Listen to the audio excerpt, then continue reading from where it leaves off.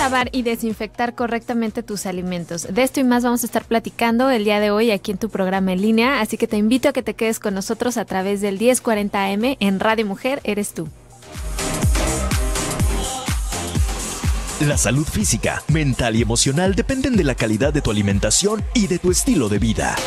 Ponte en línea con el 1040 y descubre que todo se puede. A partir de este momento, quedas en línea con Ruth León.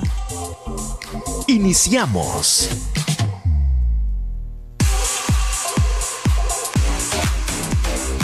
7 de la mañana con 5 minutos. Muy buenos días, bienvenidos, bienvenidas. Estás aquí en tu programa en línea, este espacio de nutrición y salud en la radio. Gracias a todos los que ya nos sintonizan desde temprano, a todos nuestros amigos y amigas que madrugan y bueno, que día a día están contribuyendo a mejorar su salud, sus hábitos de alimentación y poniendo en práctica todo lo que aprenden en este programa. Y a los que todavía no se animan, bueno, pues ojalá que poco a poco lo que aquí escuchan vayan poniéndolo en práctica pequeños cambios, recuerden que son igual a mejores resultados.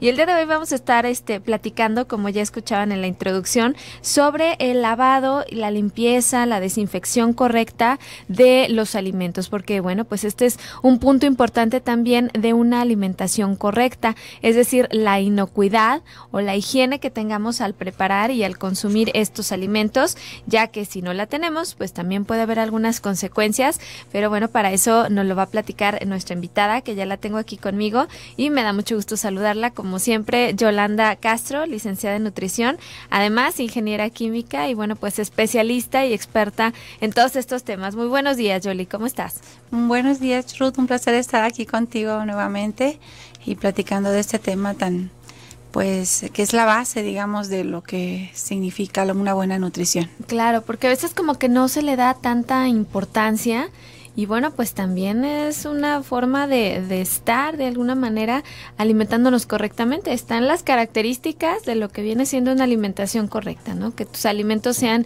inocuos. Esa palabra para algunos sonará extraña, pero bueno, no es otra cosa que estén libres de patógenos o, o de riesgos que sean para la salud.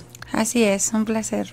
Gracias, Yoli. Y pues bueno, tú me dirás, este, primero a lo mejor destacar la importancia de, de la higiene en la preparación de alimentos. O sea, ¿por qué es importante eh, tener esta, este cuidado con los alimentos? Mira, es tan importante como que es parte primero de la dieta correcta, ¿no? En la dieta correcta tenemos una serie de características y entre ellas viene la inocuidad. Entonces, en este punto estaríamos pensando en la inocuidad del alimento. Pero antes de llegar a la inocuidad del alimento, tendríamos que pensar en la inocuidad del individuo que está preparando estos alimentos, ¿no? Entonces, estaríamos pensando que básicamente eh, la figura más importante en el hogar eh, es la madre.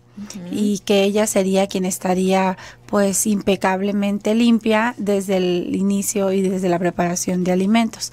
Pero en los tiempos modernos también estamos viendo cómo los señores o, los hijos eh, de la familia se van se van a ir integrando a este proceso ¿no? de la preparación del alimento. Entonces, esto es, es un punto básico. Entonces, lo primero es que vamos a pensar, por ejemplo, en un desayuno.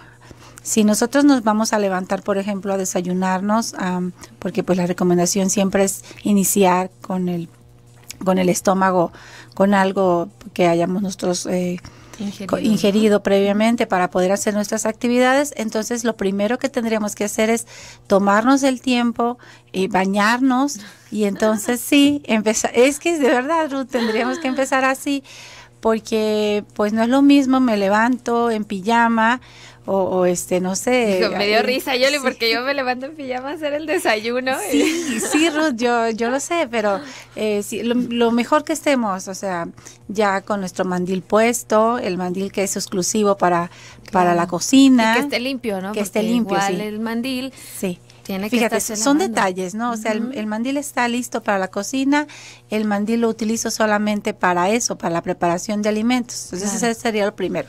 Luego pensaríamos en, el cabello, ¿verdad? En estar con el cabello recogido, eh, estar con las uñas limpias. Yo sé que ahora, por ejemplo, se utiliza mucho esas modas de, de las uñas que con este con, colores, arreglos, con, colores y con un plástico, bueno, ahí encima. Entonces, si vas a preparar alimentos, la verdad es que no son las condiciones adecuadas eh, bajo esas. Eh, no, pues no, no, ni para comer. Yo las he traído y bueno, qué estorbo de, de, uñas. O sea, ni siquiera puedo voltear una tortilla a gusto. Yo soy de voltearlas con la mano. A mí no me gusta muchas veces utilizar la palita. Bueno, se achicharran todas las uñas. Entonces, imagínate qué inocuidad. Y bueno, sí, son muy artísticas, pero la verdad es que no son higiénicas al momento de la preparación del alimento. Exacto. Y luego pensaríamos también en, el ambiente, ¿no? Antes de preparar tiene que estar mi cocina completamente limpia, eh, que la superficie en la que voy a limpiar ahora, por ejemplo, hay unos como espreadores, ¿verdad? Que puedo eh, desinfectar el espacio en el que voy a trabajar y ¿Qué em, sería? Con jabón. Primero, yo lo que recomiendo es que utilicemos jabón, ¿verdad? Jabón y posteriormente, pues sí, puedes utilizar alguno de los productos químicos comerciales que se usan, no vamos a decir marcas, pero que vienen así como para sprayar desde unos verdes hasta unos naranjas. Entonces ya limpias perfectamente. O sea, el eh, cloro como tal que conocemos. También podríamos utilizarlo. Sí, o sea, aquí es a gusto, porque aquí lo que importa es más bien el lavado del con jabón, ¿no? Y posteriormente estaríamos secando el espacio, ya que le agregamos agua para retirar el producto, estaríamos secándolo con unas toallas que sean de esas de papel reciclable. ¿Por qué utilizaríamos esto? No, porque no podemos utilizar, por ejemplo, el trapito, el, famoso trapito, porque es una fuente de, infección. Porque para poder que ese trapito sea viable de utilizarlo, o sea, es que el trapito es para secarme la mano a veces nada más, pero a veces el, trapito ya se ensució.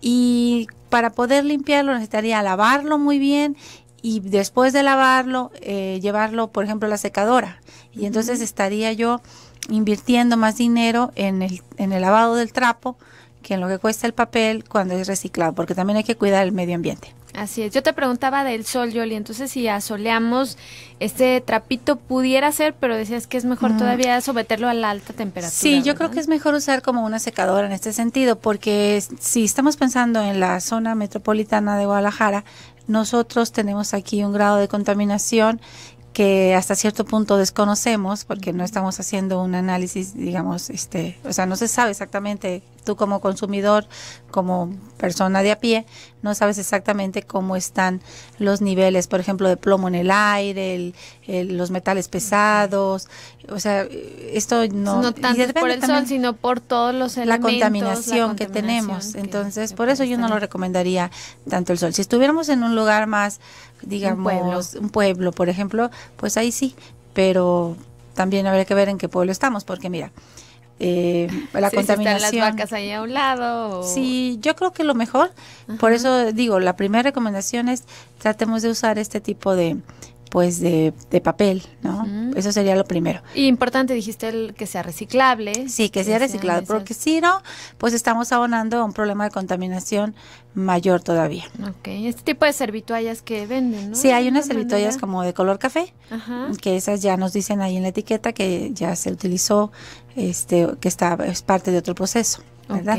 Perfecto, Yoli. Pues muy interesante. Yo creo que todo lo que vamos a estar aprendiendo el día de hoy contigo. Los invito a todos a que se comuniquen ya a nuestros teléfonos por si quieren preguntarle algo a Yolanda Castro. Va a estar aquí con nosotros todo el programa. Así que les recuerdo el teléfono 31 22 11 90, 36 47 18 83. También nos puedes mandar un mensaje por WhatsApp al 33 10 19 07 12. En redes sociales, búscanos en Facebook como Radio Mujer Guadalajara, en Twitter arroba Radio Mujer 1040. Y bueno, pues también ya nos pueden ver a través de la página, estamos totalmente en vivo en www.radiomujer.com.mx. Ahí le das donde dice Radio Mujer en vivo y nos puedes estar viendo a través de las cámaras que están aquí en cabina. Vámonos a la primera pausa, pero regresamos para platicar de este lavado y desinfección correcto de los alimentos. Platícanos tú cómo le haces, los lavas, no los lavas, con qué los desinfectas, bueno, todas tus dudas aquí con nosotros. Ahorita regresamos.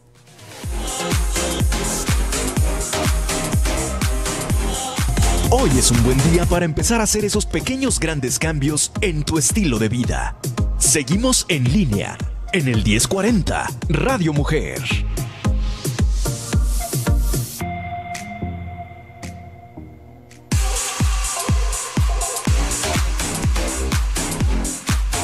7 de la mañana con 18 minutos, ya estamos de regreso aquí en tu programa en línea. Muchas gracias a todos los que nos están sintonizando. El día de hoy estamos platicando con Yolanda Castro, licenciada en nutrición y bueno, pues también ingeniera química, de cómo lavar y desinfectar correctamente los alimentos. Y bueno, Yoli, ya decíamos que para empezar es muy importante la higiene de la persona que va a preparar los alimentos, ¿no? O sea, a lo mejor nos escuchamos un poco exageradas, pero en casa pues hay que traer de todos modos quien vaya a preparar los alimentos, el cabello recogido, estar limpios, eh, lo que decíamos de las uñas, ¿no? De alguna manera a lo mejor utilizar un mandil limpio también. Sí, eh, eso es lo primero. Bueno, eh, te comentaba ahorita fuera del corte, por ejemplo, si tienes un hijo, pues le compras un mandil para que él se haga responsable de su mandil y este y que sea parte de sus implementos al momento de preparar sus alimentos. Eso sería y creo que deberíamos de hacerlo desde pequeños. Eh, bueno, otra de las cosas importantes. Y ya me enseñó Yoli la foto de su hijo cocinando, ¿eh? Ella predica con el ejemplo y trae su mandila y su hijo. ¿Cuántos años tiene tu hijo? Eh, bueno, él tiene 16. Y, se ve que está cocinando ahí en la foto y bueno, muy de mandil. Del otro creo que no tengo fotografías, se la voy a tomar. Bueno, entonces, este... Decíamos lo de la superficie. El vinagre, ¿qué tal, Yoli, para ah, limpiar?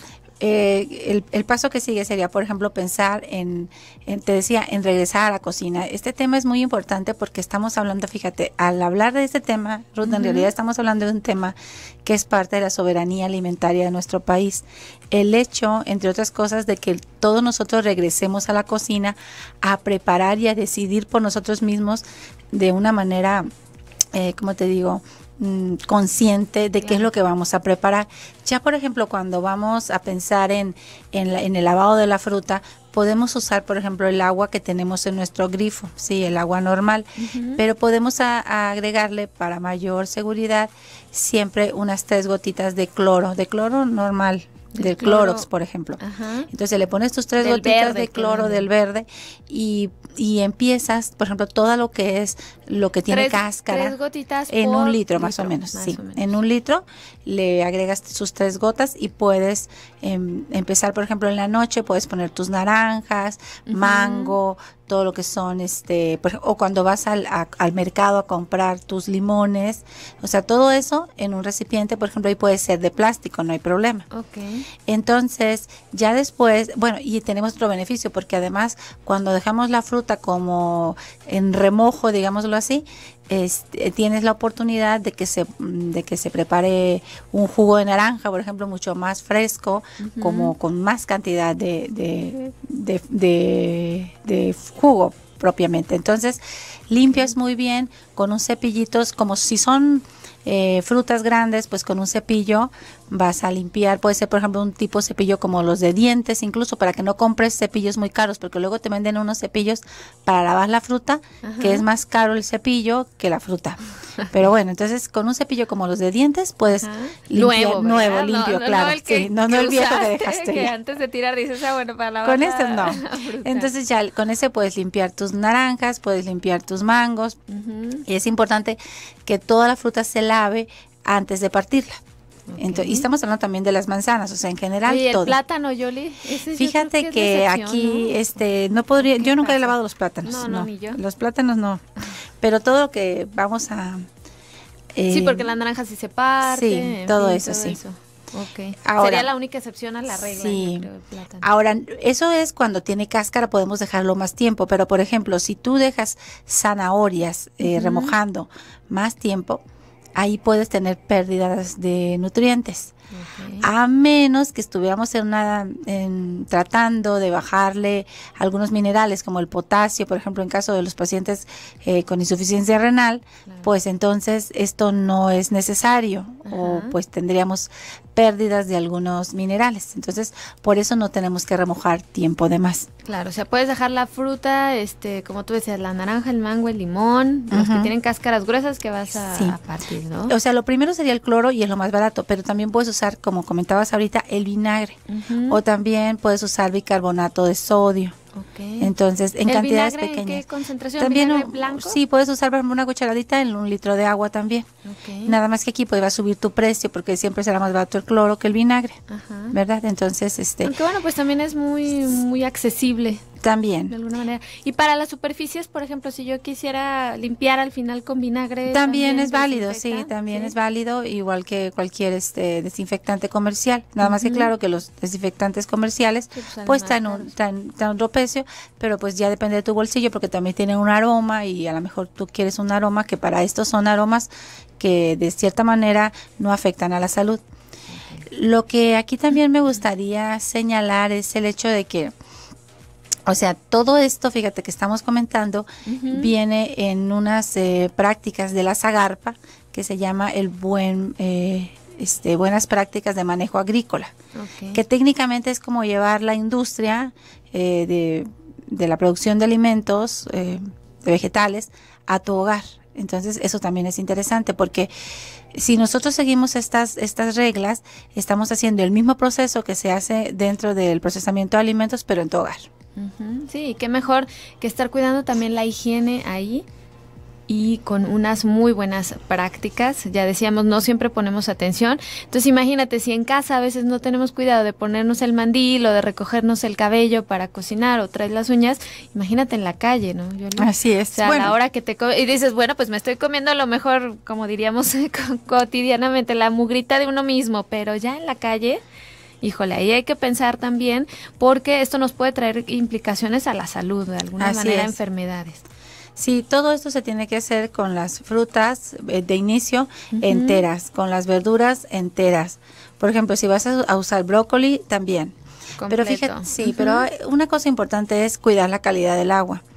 Eh, por ejemplo, en, Jalisco, si nosotros pensamos en el agua que sale de los pozos que abastecen nuestra ciudad, en ese, digamos que en la parte donde está el, lo más cercano al pozo, pues el agua es eh, técnicamente te podrías tomar el agua esa, ¿no?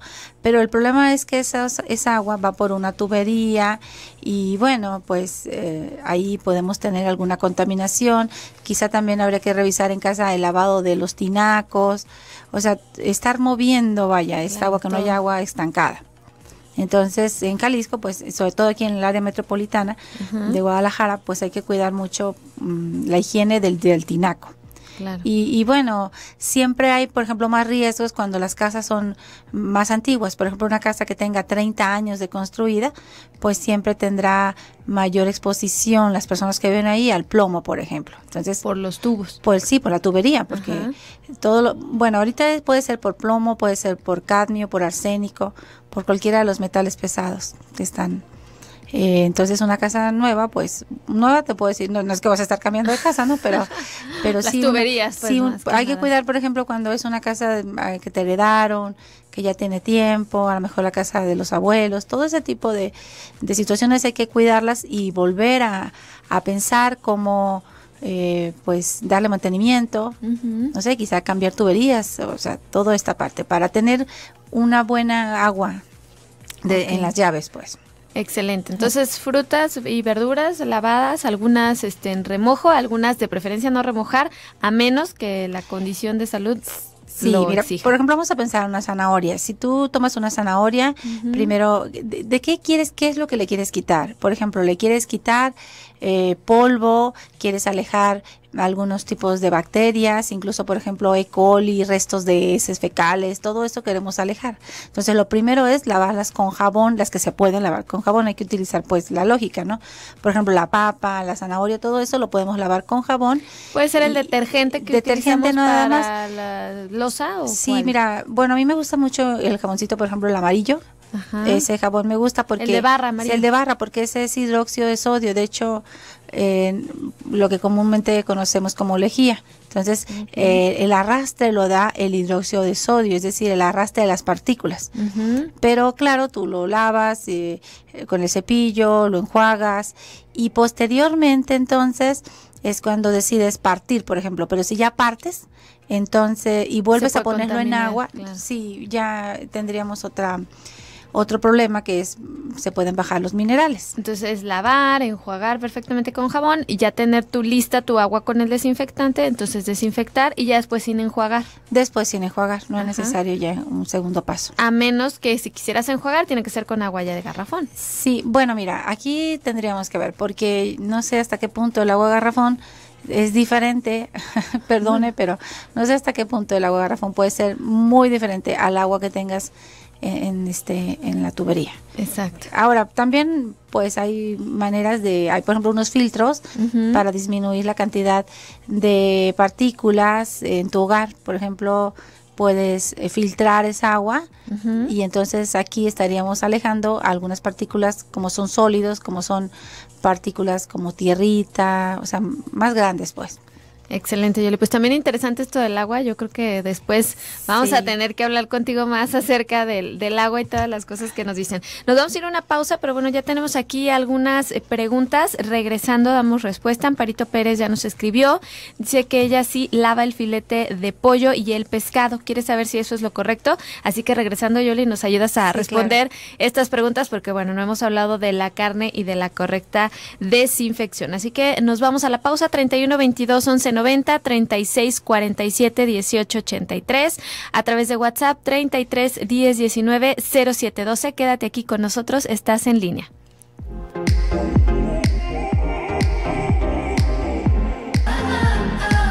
Empieza haciendo lo necesario, después haz lo posible y luego estarás logrando lo imposible. Ponte en línea con el 1040. Continuamos en Radio Mujer.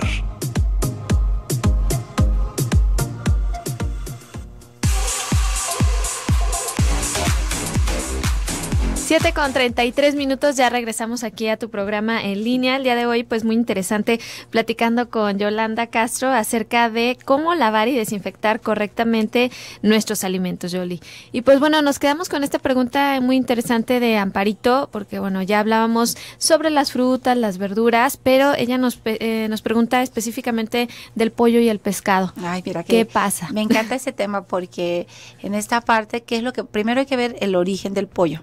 Ejemplo, podemos encontrar un letrero pasando por algún lugar donde diga pollo recién matado. Y entonces te compras tu pollo y digas, lo lavo y ya resolví la situación. O sin lavarlo porque está recién matado, no sé exactamente qué pensaremos cuando recibimos ese pollo. Pero la verdad de las cosas es que hay que tener confianza en la industria del pollo que se dedica exclusivamente a los pollos, ¿no? O sea, que tiene una planta que está avalada por el gobierno, que está avalada eh, por las instituciones de salud, donde tiene un sello que me dice que ese pollo es, por ejemplo, tipo inspección federal, ¿no? Y entonces yo... Es decir, que, que, investigan esas condiciones de higiene de las que también estamos platicando. Pero que además son parte de las buenas prácticas del manejo del pollo, que va desde la calidad del mm, desde la materia prima que se va a utilizar, que va a comer el pollo, toda esa parte. Pero sobre todo que van a estar haciendo pruebas mm, de, micro, mm, de microbiología para revisar que ese pollo realmente sea inocuo. Esa es la diferencia entre un pollo recién matado que voy a comprar y un pollo que tiene una marca que lo respalda detrás. No quiero decir que no va a haber pues un tema de corrupción por ahí, que alguien me puede comentar de eso, pero siempre será más seguro. Entonces, ahí están haciendo pruebas de salmonelosis, de salmonelosis, de de diferentes microorganismos, de Campylobacter, por ejemplo, que si yo tomo un pollo que estaba contaminado, por ejemplo, con Campylobacter pylori y lo lavo en mi casa, lo único que voy a hacer es pues voy a decir una palabra que a lo mejor no nos gusta tanto, pero voy a desparramar pues el microorganismo. Y al salpicar el agua, voy a contaminar otra parte. A lo mejor la superficie. Exactamente. Entonces, un simple lavado del pollo no resolvería ningún problema si es que el pollo ya lo tuviera.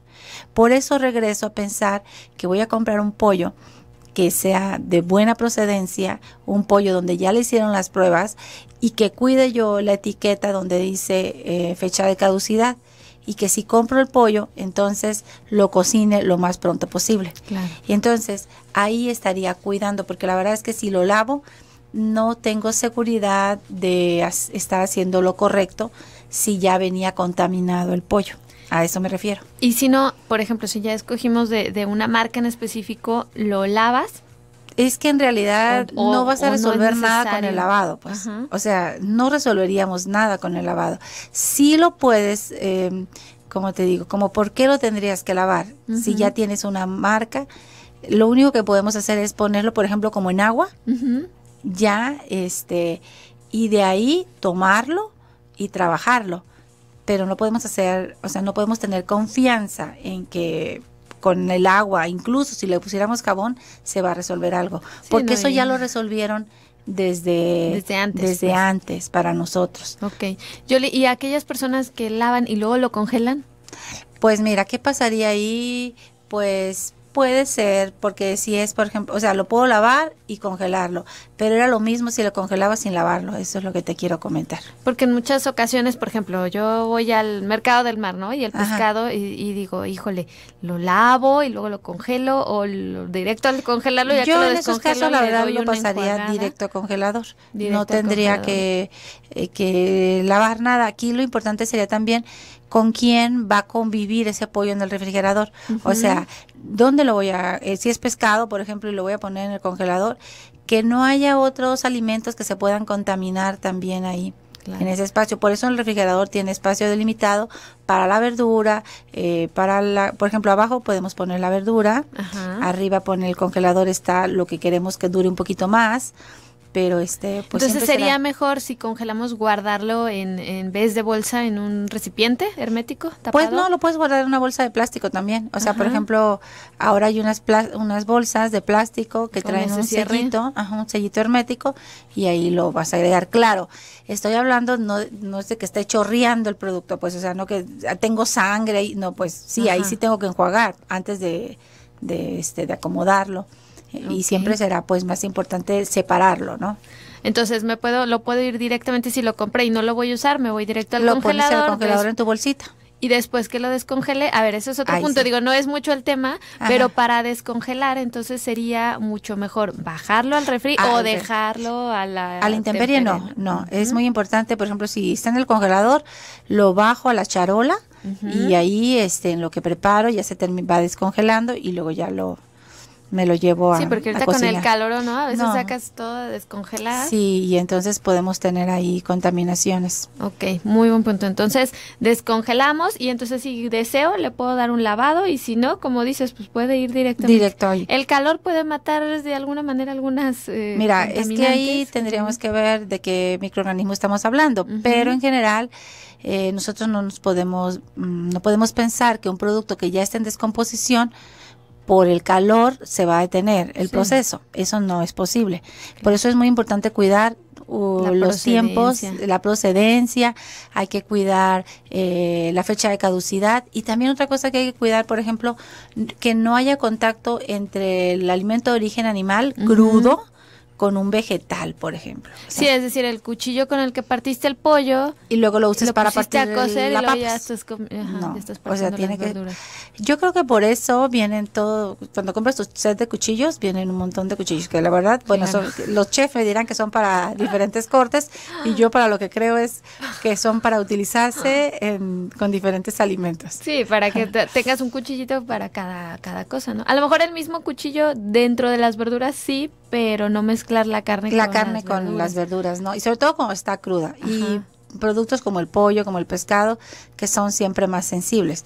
Ahora, con esto que estamos diciendo, pareciera, este, no sé, que que estamos complicando, digamos, el proceso de alimentación, ¿no? Y que estamos diciendo que hay que regresar a la cocina y pues con tanta cosa como regresó a la cocina. Pero es al revés.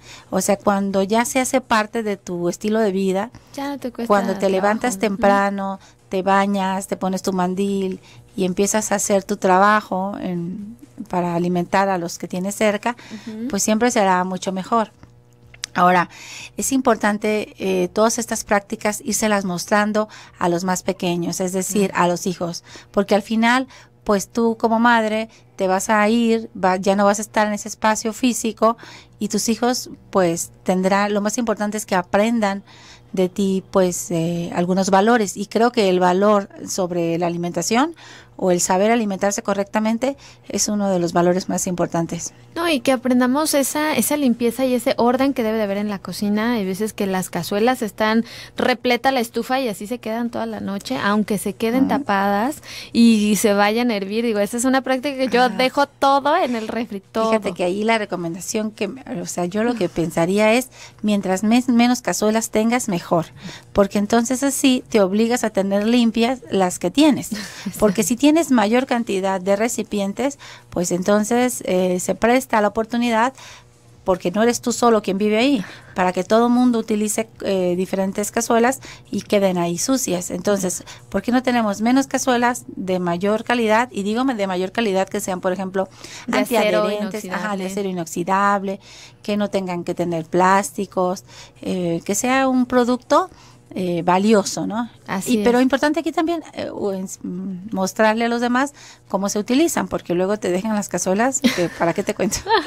Oye, le tallan ahí el antiadherente y bueno, pues ahí, ahí hay que tener mucho cuidado. Y también, ¿dónde guardamos los alimentos? No, a mí me encanta guardarlos en vidrio. pues yo creo que es, fíjate, no, no, no creo, es lo mejor, porque ahorita que estamos platicando un poquito fuera del aire, estamos hablando del agua. Eh, los recipientes de plástico contienen una sustancia que se llama bisfenol A. El bisfenol A, cuando se calienta, como el tipo, los toppers, ah, bueno, ya dije la marca, este, cuando se calienta, este, eh, se desprende una sustancia que interacciona con la grasa del alimento que tenemos adentro y entonces es potencialmente tóxica. Y sobre todo para aquellos que se llevan su comidita y calentan en el microondas. entonces hay que llevar en cristal, porque si tenemos que usar un microondas, el microondas eh, eh, no es que sea malo, pero cuando hay grasa y, plástico, este, es muy mala combinación en cuestiones de toxicidad. Entonces, pues de preferencia utilicemos cristal para guardar el alimento. Pero una cosa importante, mira, si vamos a dejar en la parte de abajo del refrigerador, eso de que dejen la sopita ahí, como para qué. O sea, prepara lo que vas a consumir o lo congelas, pero no lo dejes ahí en, en el refrigerador, porque eso ya nadie se lo va a comer.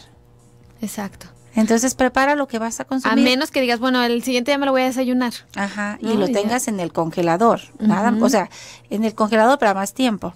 Y abajo, pues, ¿qué te digo? De un día para otro. Y además ahí ya perderíamos la parte que tiene que ver con la dieta variada. Acuérdate que la dieta variada es consumimos hoy pollo, mañana carne de res y luego pescado. O sea, no es el pollo de hoy me lo como mañana, y pasado. y con el pollo que cociné, entonces hago enchiladas. Y con lo que me quedó, entonces voy a hacer este chilaquiles. No, entonces ya la dieta no es variada. Exacto. Hay que, hay que darle, hay que darle variedad, Yoli. Nos vamos a ir a la segunda pausa. Tenemos más este preguntas, pero regresando les damos respuesta. Gracias a todos los que se están comunicando al 31 22 11 90 36 47 18 83, WhatsApp 33 10 19 07 12. No te vayas, quédate con nosotros. Estás aquí en línea. Nos estamos poniendo en línea en el 1040 Radio Mujer.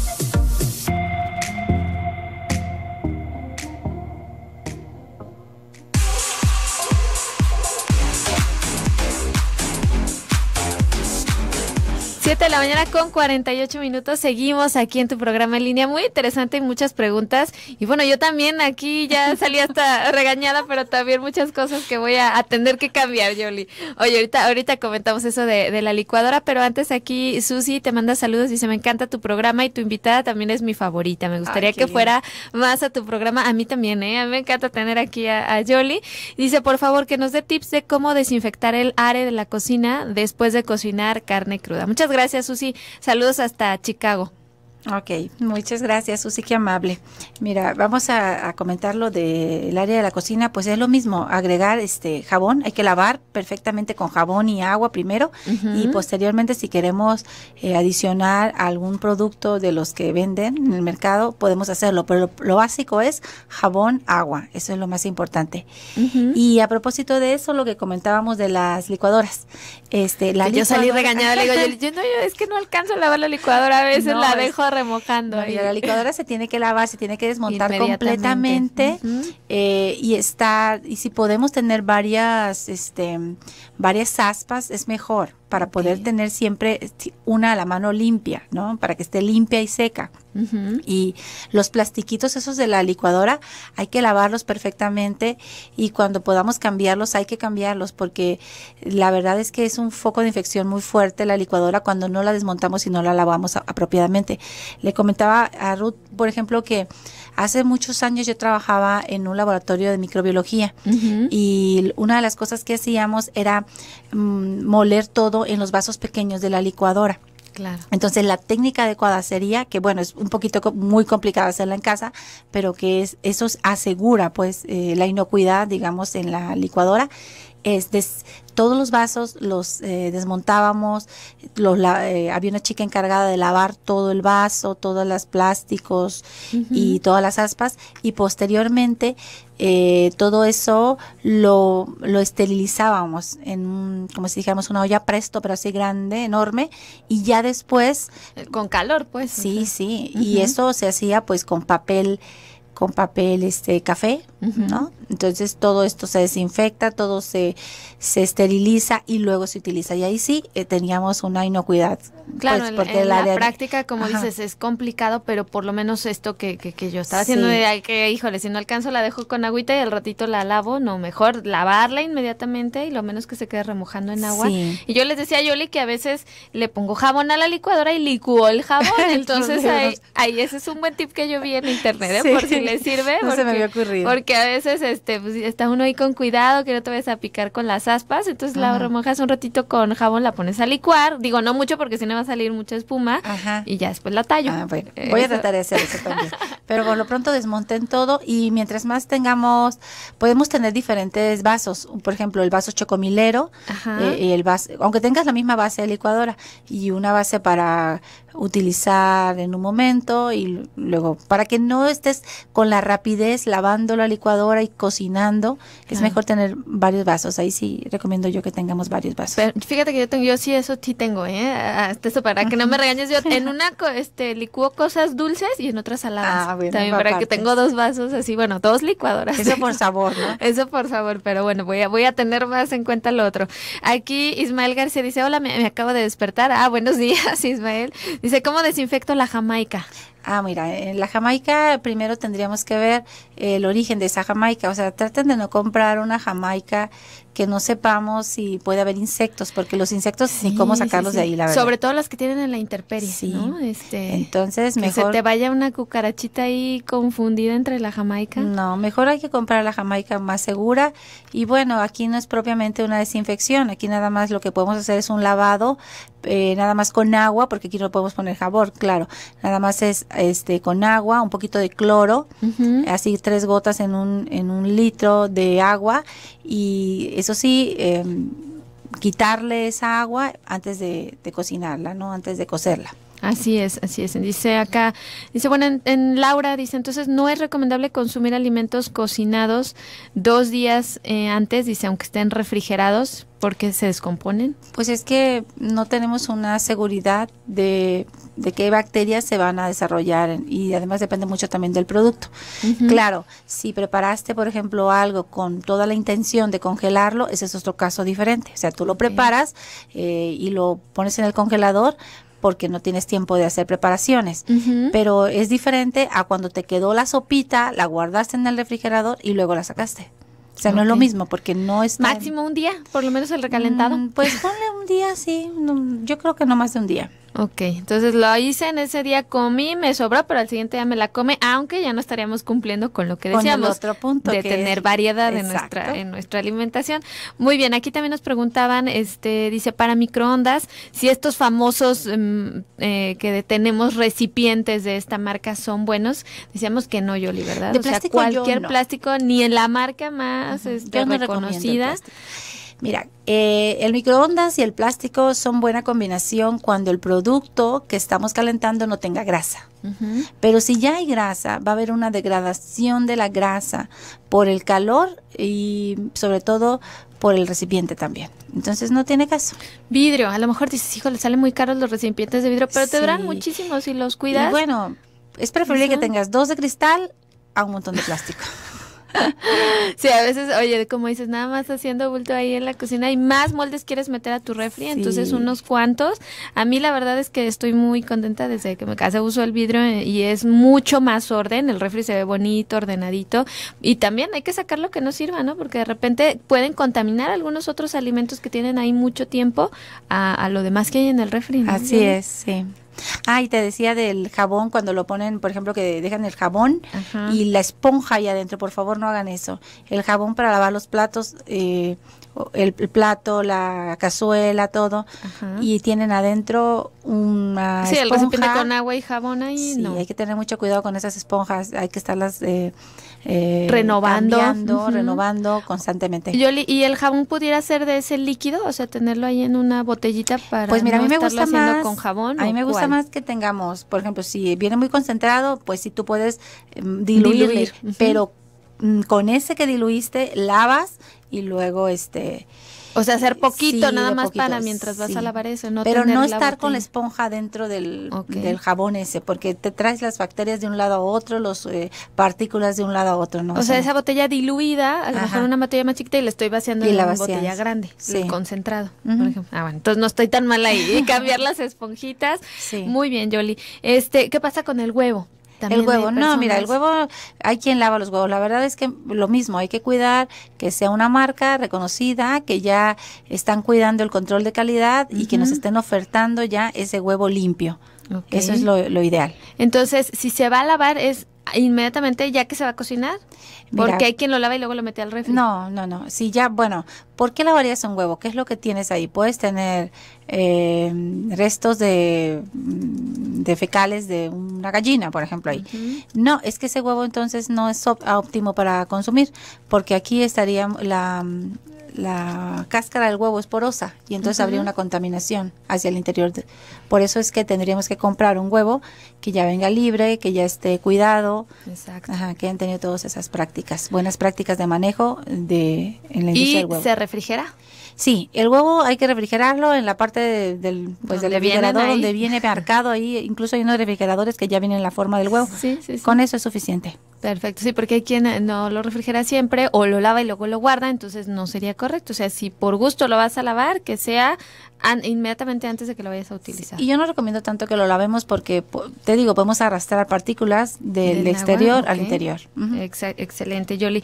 Pues no sé, algo más que nos quieras comentar, nos quedan algunos minutos o bueno, pues una conclusión ya de este, de este tema del por qué es importante tener higiene en, nuestra cocina. Bueno, pues algunas prácticas de manejo agrícola, eh, de cárnicos y todo, eh, son una práctica que se realiza desde la industria alimentaria, desde la producción de alimentos que podemos nosotros llevar tranquilamente a nuestro hogar, empezando primero por la higiene de nuestro de nuestra persona, por la higiene del área en la que estamos trabajando y, bueno, pues con estas recomendaciones mínimas que acabamos de, realizar. Y bueno, a ver si así nos animamos a cocinar más en casa, porque si ya nos ponemos a pensar en, en todo lo que en la calle nos topamos, esos puestos que yo sé que son deliciosos los taquitos, pero pues no siempre tienen la higiene adecuada. Yo no conozco taqueros que traigan una mallita en el cabello, Habrá sus excepciones, claro, pero sería una muy buena práctica que ellos pudieran llevar, ¿no? Sí, y bueno, también hay, seguramente cuidan la higiene del personal, ¿no? En algunas taquerías, eh, si hablamos de los tacos, pero pues los tacos es una situación cultural que nosotros vamos como para convivir con alguien, quizá no tanto vamos a buscar un vehículo de nutrientes, porque una cosa es eh, tener alimentos, que son un vehículo de nutrientes y pues deben empezar desde tu casa, desde tu hogar. Así es, entonces pues poner más atención y cuidado y pues eh, convencernos de que lo mejor siempre va a ser preparar más alimentos en casa y menos en la calle, porque si no, no sabemos, siempre les digo que tanta mugrita tenga lo que nos estamos comiendo en la calle y ya por lo menos en casa es de uno mismo. Yoli, por favor, tu correo, porque ya sí, nos vamos. claro que sí, mi, mi teléfono, mm, teléfono es 33 11 57 05 49 y mi correo yolanda arroba hotmail.com. Perfecto, 33 11 57 05 49 Yolanda Castro A arroba hotmail.com. Sí, un placer. Perfecto, Yoli, gracias, gracias a todos, que tengan un excelente día, quédense en compañía del doctor Gilberto Priego, gracias a Karen, gracias a Juan que estuvo en los controles y nos escuchamos el día de mañana. Gracias.